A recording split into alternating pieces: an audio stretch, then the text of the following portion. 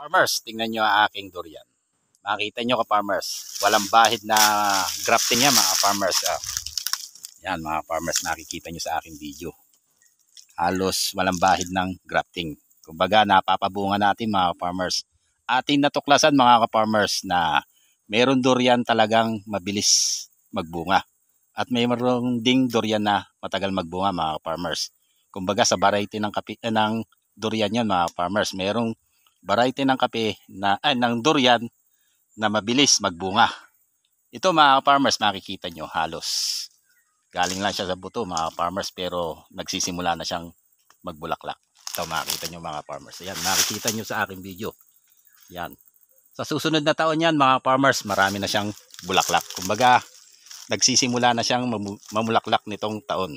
Meron na tayong mga namumulaklak yung sadyang marami nang magbulaklak mga farmers yung ating durian. Ayan. Makita nyo mga farmers. Kumbaga ito, halos 5 years. Tungtong ng 6 years mga ka-farmers. Marami tayong bulaklak to mga ka-farmers. Kumbaga meron tayong 1 year, 2 years, 3 years, hanggang pataas mga ka-farmers. Yung ating tinatanim na durian. Kumbaga hindi tayo maiinip mga farmers. Kumbaga meron na tayong i-harvest na unang tinanim natin. Kumbaga ito dagdag lang sa ating farm. Kumbaga halos nagpapalaki tayo.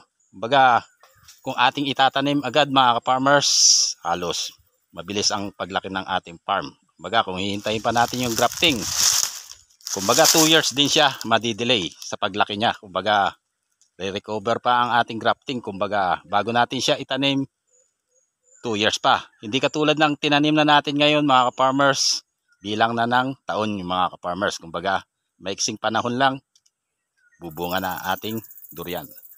Yan makita nyo ka-farmers. Kumbaga isang halimbawa ko lang mga ka-farmers. Kahit hindi grafting, ubra nating pabungahin na mabilis na panahon mga farmers. Yan. Meron na rin tayo namumulaklak. Okay?